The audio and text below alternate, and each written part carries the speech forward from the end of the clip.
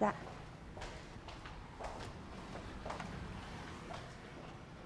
Ơ Dũng! Sao mà hốt hoảng thế? Anh Hùng bị ngã bất tỉnh, đang phải cấp cứu chị ạ.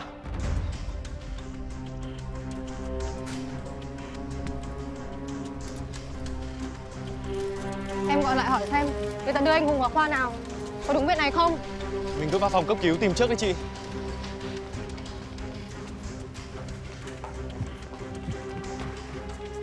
Ai là người nhà bệnh nhân Lê Anh Hùng nhỉ? Cháu ạ, cháu là em trai của anh Hùng. Anh Hùng có sao không ạ? Sao đến muộn thế? Thế người lúc nãy đưa bệnh nhân đến đây là ai? Đưa đến đây rồi lại bỏ đi luôn. Bác sĩ ơi Hùng đang cấp cứu ở trong đấy ạ Tình hình thế nào rồi Chúng cháu vào thăm được không ạ Tôi rất tiếc. Bệnh nhân được đưa đến quá muộn. Chúng tôi đã cố hết sức nhưng không thể cứu được anh ấy. Bây giờ cậu theo tôi xuống nhà làm một số thủ tục.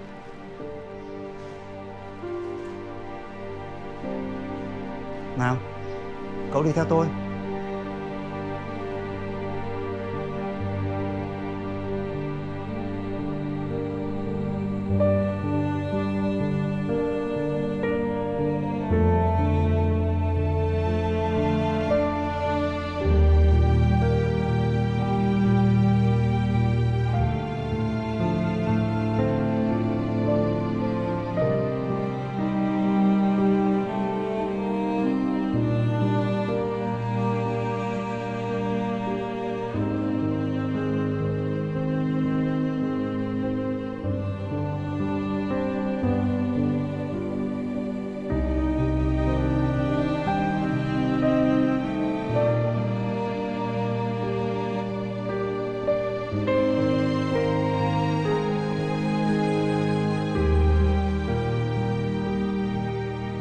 Chị không có chút tình cảm nào với tôi à?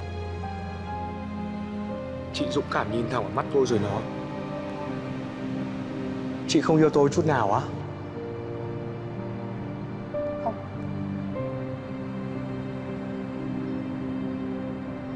Vật chất không đủ để nuôi dưỡng tình yêu Nhưng là điều kiện cần Chúng tôi sẽ còn gặp nhau nhiều Tình cảm cần thời gian để vun đắp. Khi nào cảm thấy đủ, Thì kết hôn.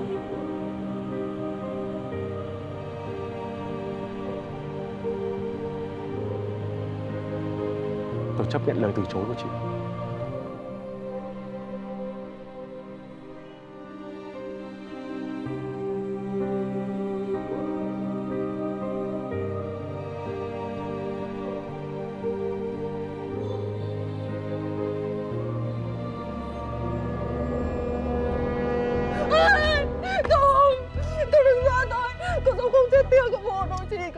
À.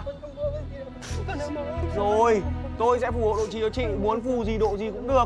Nhưng mà đừng khóc nữa. Tôi là người sống đấy. Đừng khóc nữa. Sao cái tế như thế xảo thế ạ? Tôi vẫn sống nhăn răng đây này.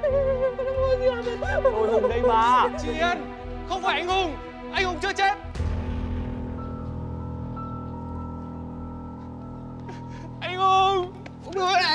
Đau, đau, đau, đau, đau. Tay bò thế này nặng rồi. Anh còn bị ở đâu nữa không? Ai, ui. Anh ngã bất tỉnh như thế, đã chụp chiếu gì chưa? Anh không sao Chỉ bị dạn xương tay chút thôi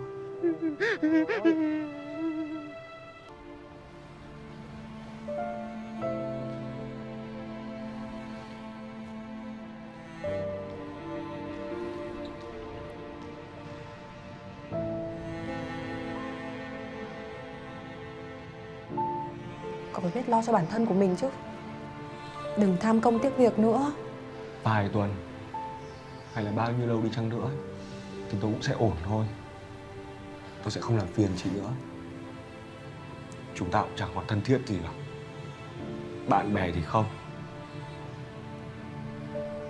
Yêu đương.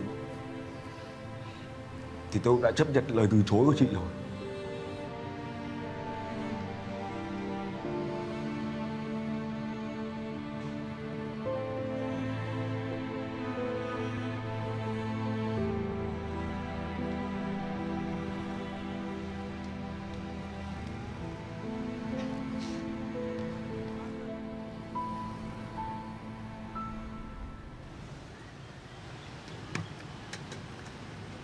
Chị làm gì ở cửa hàng tôi đấy? Khổ quá, tôi có cần đâu. Sao chị lại tự tiện làm việc này? Cậu muốn kiếm thêm tiền để lo cho bạn Hiền ấy Thì đừng có để mất khách.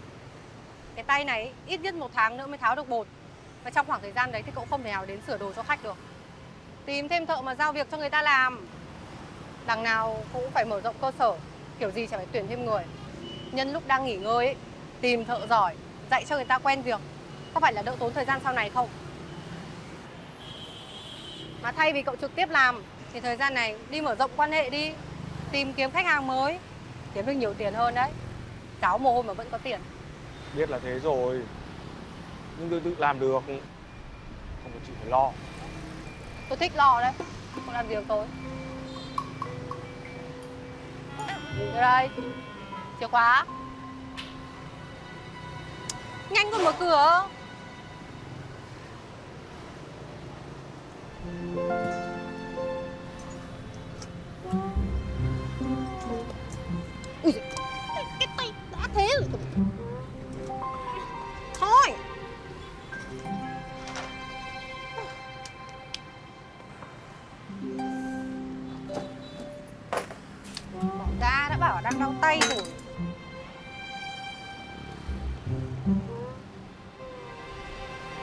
Xong rồi đấy. Chị về đi. Cậu ngồi yên một chỗ đi Tay đang đau Cứ tí toái động vào đồ nghề là gãy luôn đấy Đây là tiệm của tôi mà. Tôi thích làm gì thì làm chứ.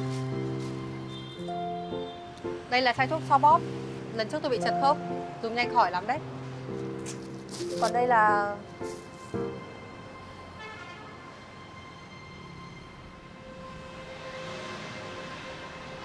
Sao tự nhiên chị lại quan tâm đến tôi như thế? Trước giờ chúng ta là bạn Tôi vẫn quan tâm cậu như này mà à, Mà đây là thuốc chú Nam đưa cho tôi Không phải của tôi Cứ dùng đi Không nợ nần gì cả bạn bè sòng phẳng Giờ khác rồi.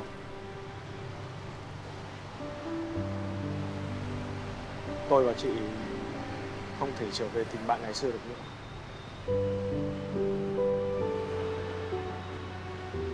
Chị sắp lấy chồng rồi. Tôi không muốn làm chị phân tâm với sự lựa chọn của mình. Cậu nói linh tinh cái gì đấy Lấy chồng cái gì mà lấy chồng Mà chả hiểu sao tôi phải phân vân vì cậu cơ Rảnh rỗi nên tiện tay thôi Ăn sáng đi Chị lạ thật đấy. Lúc tôi đến tỏ tình với chị thì chị từ chối. Từ chối xong, chị lại xông đến đây. Chị không thích người ta. Cũng không đồng ý cho người ta quên mình.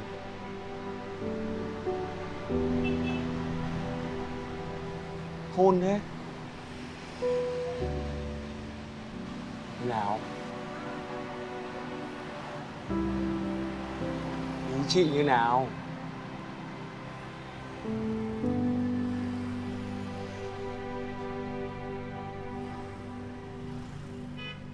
Tôi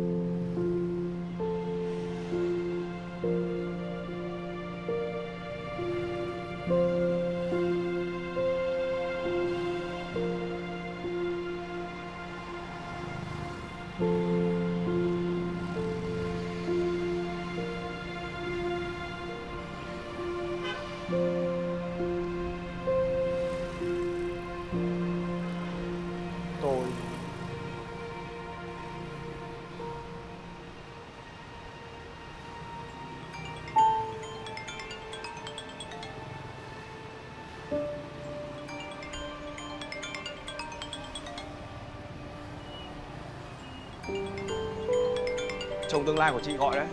Nghe đi. Alo Em đây ạ. Dạ trưa nay em được nghỉ ạ. Anh muốn rủ em đi ăn trưa Vâng ạ. Chắc là tôi không làm phiền cậu nữa. Tôi về đây. Ơ Dạ vâng ạ anh nói tiếp gì ạ. Anh qua công ty đón em á. Dạ vâng ạ. Chào anh. Taxi!